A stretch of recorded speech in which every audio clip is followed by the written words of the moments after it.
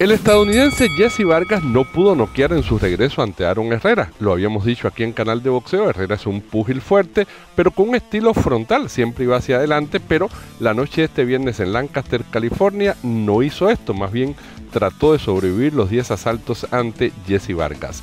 Luego del combate, Vargas conversó con nuestro enviado especial Marcelino Castillo acerca del combate, cómo transcurrió la pelea, cómo se vio en su regreso y sobre todo cuáles son sus aspiraciones que tiene muy clara. Dice que quiere pelear con Kick Turman, eso sí, todo depende de sus manejadores y promotores. Vamos a ver la entrevista que le hizo Marcelino Castillo de Canal de Boxeo a Jesse Vargas allá en California. ya estamos de regreso, contentos, muy contentos la verdad.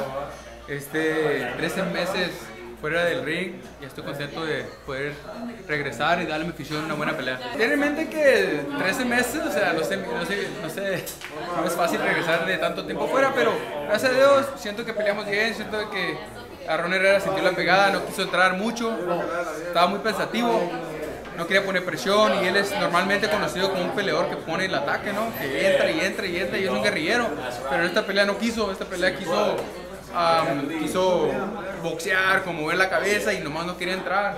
Y cuando entraba, pues lo conectaba muy bien con, con mi jab, mi derecha.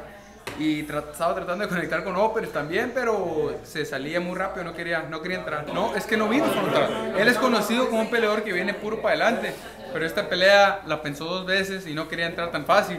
Él dijo antes de que yo no tenía la pegada para lastimarlo y que él iba a venir a tratar de noquear, pero ya cuando sintió la pegada cambiaron las cosas.